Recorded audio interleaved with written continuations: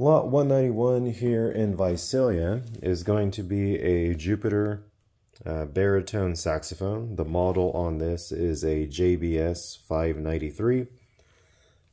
Um, this is not the case for it. This is a Yamaha case, but it's one that fits. So we're going to sell it with the case. Uh, there are some reeds in here. Condition-wise on the saxophone, it does have, uh, you know, a good amount of scratches on it. You know, it was well used, it looks like.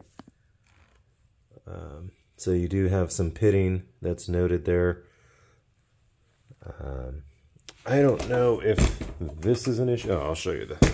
So here's the serial number. It's a TF00012, and then there's the model JBS 593. I'm not too familiar with saxophones. I played a clarinet uh, when I was younger but I am not sure about this here. See, this is kind of, I don't know if that's something that can be welded or repaired, but it was hanging on by a thread. Uh, of course, this is the mouthpiece portion. Um, so it looks like it will need some repair.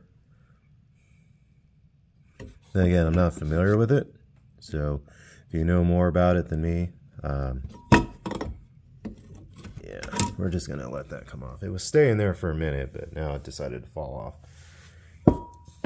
So the condition is just, you know, I would say average at best. Um, everything seems to be working on it. You know, nothing other than what I've just shown.